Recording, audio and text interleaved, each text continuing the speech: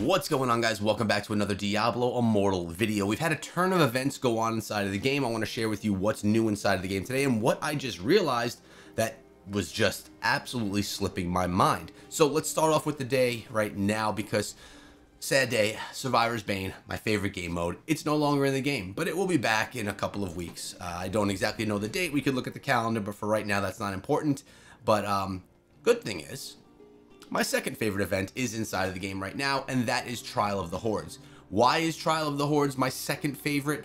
Mostly because it's very easy to collect the battle point rewards. These are very easy to grab, and I like free progression. It makes it easier and less of a struggle for your grind throughout the day. Make sure you get your battle pass to rank 40, all that stuff, and to keep yourself above Paragon level, or at least at it. So, although the game mode is not the most, uh, you know, the most exciting although I think it is fairly exciting. It's one that I like because the rounds are quick and because you could quickly get rewards for it, and in my opinion, it's fairly easy to be victorious in. At least I've figured out the way. Maybe we'll play some of that tomorrow, not sure, but for now we're going to go on. All clans on deck rewards are ready to be uh, completed and collected as of today, and remember the overflowing arsenal is still going on. Make sure you grab those greens. They've been dropping some good ones. I did notice that I need to do terror uh, and Elder Rifts and the Forgotten Tower. So looks like I'm going to be diving into that. To be honest, I have not been doing a bunch of Terror Rifts at all. I just haven't been doing it because just never works out. I'm not sitting around at the right time waiting for it, and uh, probably should be, but I'm not. So I'm gonna probably have to start doing a little bit of that. I want to get these rewards so that we can make sure that we at least get this last set of greens before we go over to these choice ones as well. All right. Uh, in addition to that, I was walking around. I was walking around West March, and I said to myself, you know, I'm, I'm getting close to Paragon 400. The Paragon server level is 390. Just got over it the other day. Caught up on all my bounties and stuff. Um, we should probably be jumping to the next Inferno difficulty. So I went over here and I realized that Inferno 2 is Paragon 400, which for all of us, because the server Paragon level will be jumping, is going to be on Monday. The server Paragon level is going to be 400. So a lot of people, let's be honest, a lot of people already have been, but some people are going to begin farming Inferno 2 and probably should already be farming Inferno 2 to get that Inferno 2 gear early. That means on Monday, when everyone switches to Inferno 2 and when you have the high enough Paragon level and your combat rating is high enough, combat rating 37,320, which I am already beyond, you're going to be able to throw on that new gear which is going to be stronger, better gear. That means you're going to be looking for all new legendary pieces of gear, all new gear from Terror Rifts, and you're going to be looking for all new green pieces of gear. So this is my call to you that now is the time today, probably last week, and it just slipped my mind through being sick and being away and all of that. Didn't even take a peek at it well, you should be starting the Farm Inferno 2, which is what I'm going to be doing starting today. I'm going to be doing all of my farming in Inferno 2. It's going to probably be less of a just running through things and more of a little bit of a grind because it's been very easy in Inferno 1. But we'll test that out at the end of this video to see how difficult it is. As you saw, Inferno 2 requires 37,320 combat rating, and when I look at myself, I'm 37,853 combat rating. So it looks like I am well beyond what I need to be to run through Inferno 2.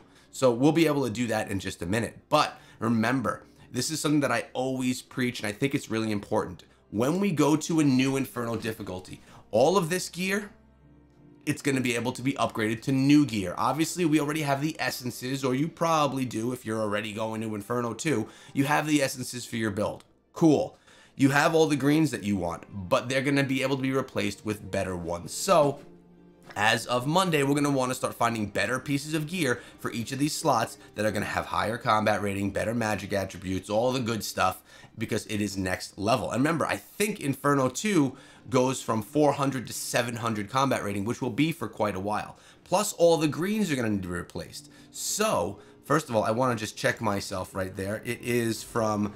Uh, Oh, it's 400 to 600, not 400 to 700. So for 200 combat rating, so for 20 weeks, you're going to be hanging out in that level.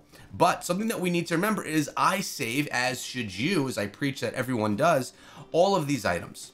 All of these are what we need to use to upgrade our stuff instantly. So what I can do as soon as I go to Inferno 2, as soon as my combat rating is, as soon as my um, Paragon level is where it needs to be. When I hit 400 Paragon and I am in Inferno 2 and that's all official, I'm going to open up all of these legendary pieces of gear. Because remember, these open up at whatever your Paragon level and whatever your Inferno difficulty is. So I want to make sure I open these at the proper time so I don't open them and get Inferno 1 gear, which is useless to me at this point in time. I'm looking for Inferno 2. Same thing with the greens. We've got 1, 2, 3, 4, 5, 6, 7, 8, 9, 10 greens. Maybe we'll get lucky. All of this stuff is going to basically be worthless. Obviously, we can convert some of it if we want to, but it never seems to be like the most efficient way.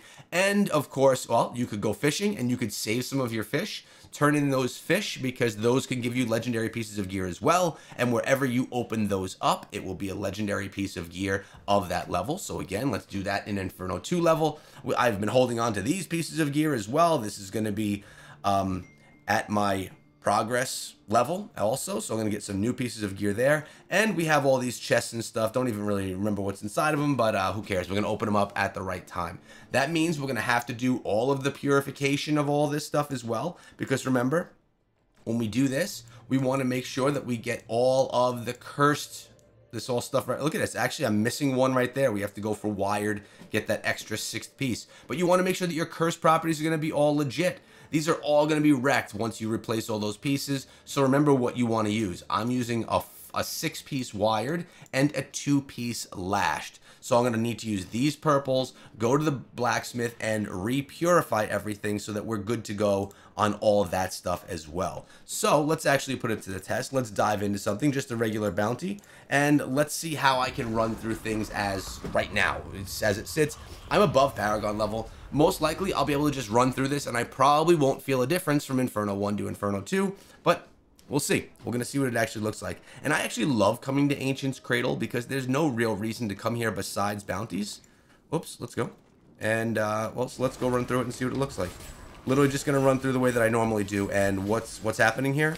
I am just running through everything still. Above Paragon level. Should have probably been doing this. Um, man, I should have probably been doing this for weeks. Because I would have had a lot more gear prepared. But I didn't prepare myself, and you know what? At the end of the day, being someone that's not a huge PvP guy and being someone that doesn't, that really just uh, tries to enjoy the game, I'm fine with what I'm doing. I'm going to get a little bit of a head right now over the next couple of days and, uh, and get a few extra pieces of gear that we could potentially use in place of what we're using. So that's going to be fun. Again, remember, when you're doing those purification shards, we only get so many. I mean, most of us have a thousand that we're sitting on, but it could sometimes take 20 to get the right cursed property that you're looking for. So I'm always just trying to make sure that I get the right piece of gear for the right slot so that I can make sure that I'm not just wasting purification shards and just re-putting new pieces in over and over again. So confirmed, it's easy to go through Inferno's difficulty too because, well, at least for me, with the proper combat rating that we're sitting at right now. That bounty is complete. We have to also look at doing some, like I said, of those terror rifts as well. They drop at the top of the hour, so at 9 o'clock, 10 o'clock, 11 o'clock, I should be looking to jump into a bunch of those because, uh, well, that's how we're going to get some of that additional gear. And now we should be getting it in the Inferno for uh, Inferno 2 difficulty. Wow, remember when we were up uh, to Inferno 3 and getting towards that Inferno 4? That's your update for the day, guys. New events, and uh, make sure that you're farming the right stuff. Trial of the Hordes is going to get you progress the most quickly today, as well as doing your bounties and your dungeons, and getting ready for Inferno 2 with farming in that level, as long as your combat rating is high enough. And if you're really close, you can kind of uh, you could kind of push your way through it if you want to. Hope you enjoyed the video. Hope you're enjoying Diablo Immortal, and I'll see you guys back tomorrow with another video. Have a great Friday, guys.